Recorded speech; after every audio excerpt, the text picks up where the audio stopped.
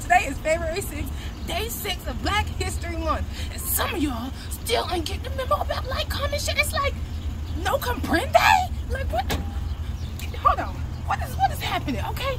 Now, you shared it with your mama.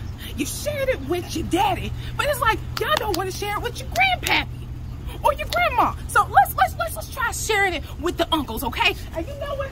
To incentivize you, guess what? I'm dropping some Black History facts on you. Come on.